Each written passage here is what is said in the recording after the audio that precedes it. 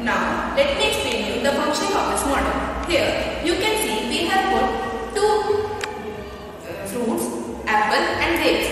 Now, for we don't know which fruit is rotten and which is good. For testing it, we have alcohol sensor which will detect the ethanol from the fruit releasing out and will pass this